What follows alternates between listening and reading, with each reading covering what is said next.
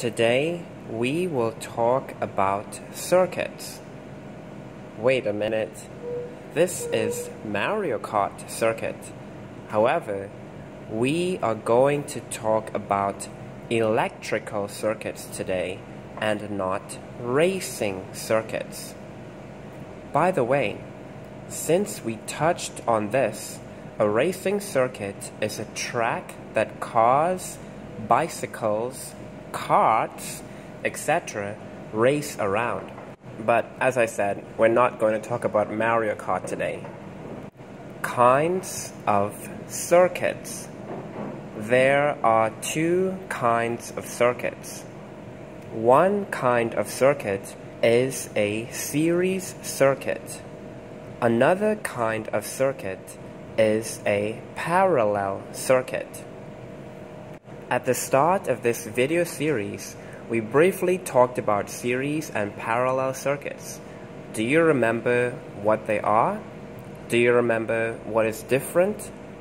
Well, even if you cannot remember, it's okay. We will talk about them in greater detail right now. Series circuits. In a series circuit, electric charges can flow in only one path. This path leads from the power source and returns to it. The power source causes the charged particles to flow. They flow through the wire in one direction around a single loop. A break in the circuit stops the electric current from flowing. So here we have a picture of a basic series circuit. What do you see? Well, on the left we have an energy source or a power source. This is usually something like a battery, etc. Then we have wire we have two resistors and we have a switch. If you follow the wire carefully and you trace your hand along the wire, you will notice that if you start at the power source and then you leave, there's only one path through which you can return to the power source. Any circuit that only has one path is a series circuit. Quiz time. Here are two questions about series circuit to test your understanding. The first one is rather easy.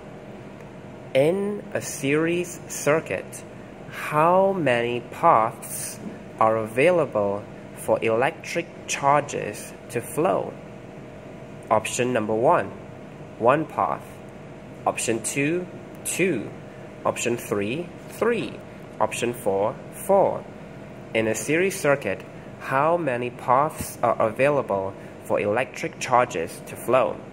Please pause the video and then when you think you have the answer, you can continue. Okay, time's up. The answer is 1. Remember, if you leave the power source or the energy source and you trace your finger along the wire, there is only one path which will lead you back to the power source or the energy source.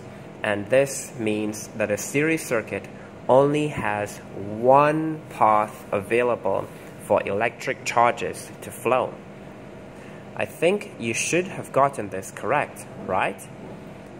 Let's move on to a more challenging question. Question number two. What will happen if there are any breaks in a series circuit. Have a look at the options and choose the one that you think is the best answer. Option number one the charges will flow faster. Option number two the charges will not be able to flow. Option number three a light connected to the circuit will become dimmer. Option number four, a light connected to the circuit will become brighter. What will happen if there are any breaks in a series circuit? Please pause the video, choose your answer, and when you're ready, continue. Okay, that's it. Time's up. What will happen if there are any breaks in a series circuit? The answer is option number two. The charges will not be able to flow because they will no longer have a path through which they can leave the power or energy source and then return to the power or energy source.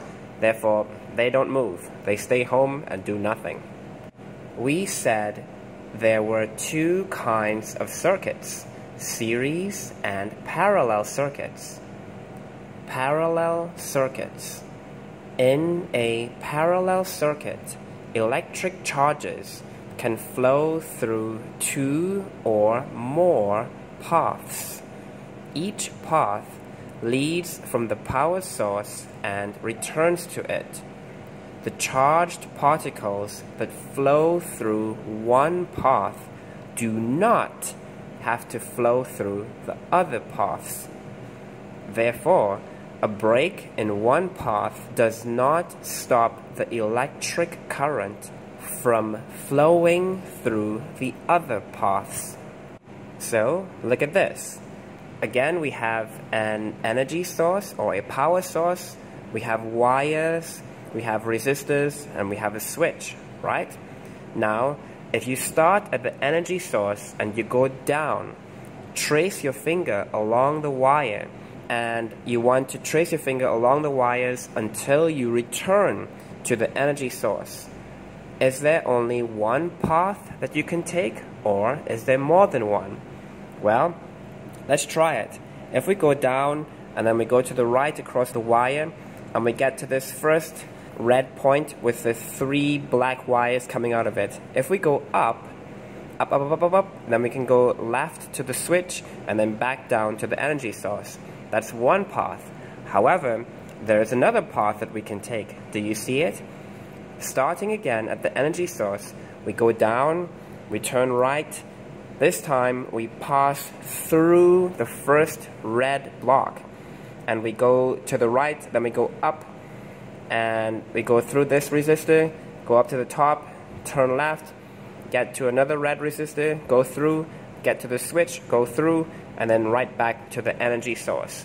Therefore, because there are two different ways that we can leave the energy source and then return to the energy source, this is a parallel circuit.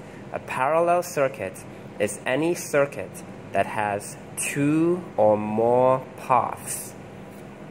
Do you clearly understand the difference between a series and parallel circuit now? Well, here are two questions to test your understanding. Are you ready? Question number one. In a parallel circuit, how many paths are available for electric charges to flow?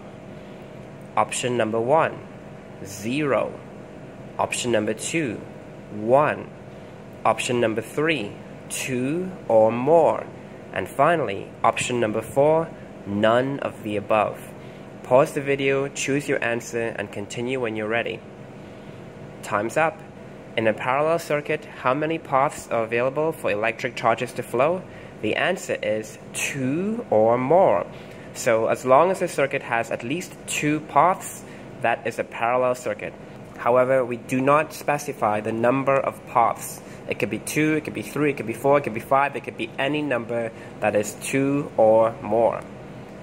I think you should have gotten this question correct as well. And now for the final question.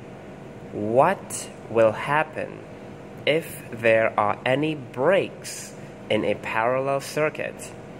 Option number one, the charges will not be able to flow. Option number two, all the lights will go out.